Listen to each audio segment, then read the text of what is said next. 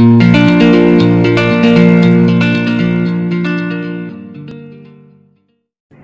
Friends, आज मैं आप सबके साथ शेयर करने जा रही हूँ मूली के पत्ता की सब्ज़ी। तो फ्रेंड्स, वीडियो को पहली बार देख रहे हैं तो प्लीज़ चैनल को सब्सक्राइब कर लीजिए और साथ में बेल आइकन को क्लिक कीजिए सबसे पहले मेरा हार आने वाली वीडियो की नोटिफिकेशन पाने के लिए। तो चलिए स्टार्ट करती है इसको किस तरह से बनाना। सबसे पहले देखिए, मैं यहाँ पर कढ़ाई को गर्म कर लिया है। तो अभी इसमें ऑयल ऐड कर दूँगी। इसमें ऐड कर दूँगी प्याज। प्याज को हम थोड़ा सा फ्राई कर लूँगी।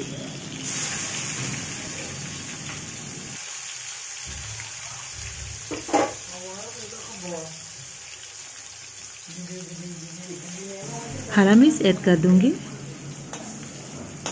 हरा मिर्च को भी थोड़ा सा फ्राई कर लूँगी। जैसे कि हरा मिर्च का जो कच्चापन है, वो ना रहे। इस तरह से इसको फ्राई करूँगी। चाह तो आप हरा मिर्च को गुना करके भी दे सकती है?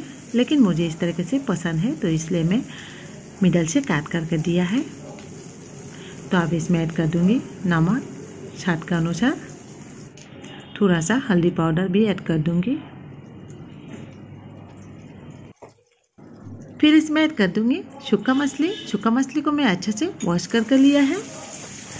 इस तरीके से मोला के पत्ता के साथ छुक्का मछली को बनाने से बहुत ही अच्छा लगता है सब्ज़ियाँ। तो आप लोग एक बार ट्राई करके देखिए। तो अब इसको अच्छे से फ्राई कर लूँगी।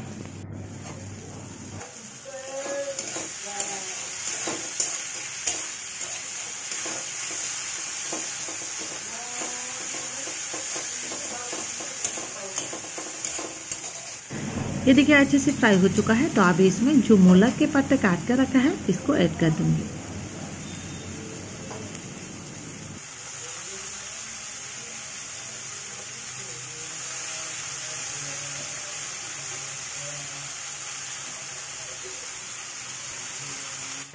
तो अभी इसको अच्छे से मिक्स कर दूँगी।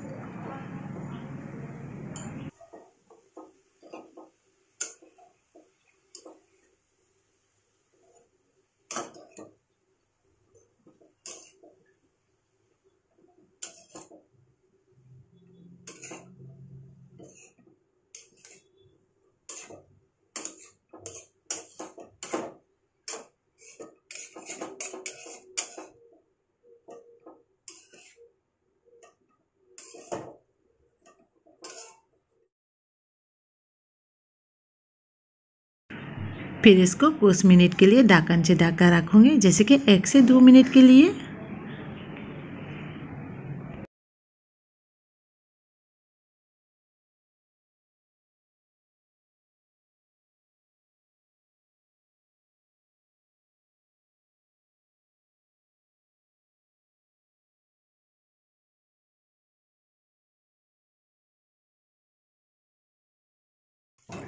तो यहाँ पर देखिए फिर से ढक्कन से ढका रखूँगी।